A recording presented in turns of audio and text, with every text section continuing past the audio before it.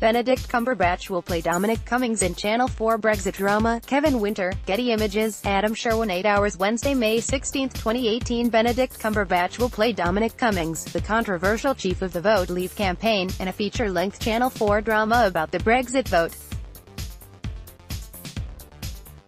Written by James Graham, this House quiz, the two-hour drama will examine the role that the manipulation of data may have played in influencing the outcome of the 2016 vote. Sherlock star Cumberbatch plays Cummings, the leading strategist and campaign director of Vote Leave. Sherlock star actor Maine Cumberbatch was among 250 celebrities who signed a letter urging people to vote Remain before the vote. He had previously been linked with the role of Nigel Farage in a Brexit drama based on the diary of Arron Banks, the tycoon who helped to finance the Leave. EU group that was backed by UKIP. Cummings has denied allegations of links between his campaign and Cambridge Analytica, the firm accused of amassing the debt of millions of people without their consent. Channel 4's political thriller explores the myriad tactics employed to swing one of the most surprising referendum results in living memory drama explores data mining Channel 4 said, at a time when the ethics, legalities and political impact of data mining has never been more debated, and when investigations examining possible links between Vote Leave's campaign and data companies are making front-page news, Brexit, working title, is a profoundly timely drama that brings into sharp focus the many weapons used in today's political battlegrounds.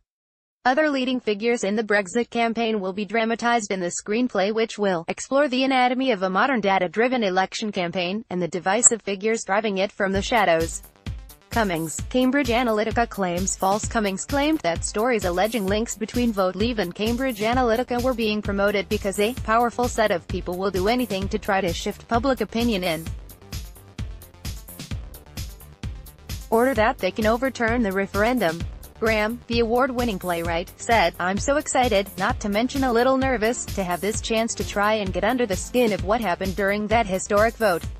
I hope by going behind the scenes of the campaign, we're able to interrogate the consequences of what happened during these eight weeks that have changed the country forever. Beth Willis, head of drama at Channel 4, said, James whip-smart, funny and insightful writing is a breath of fresh air.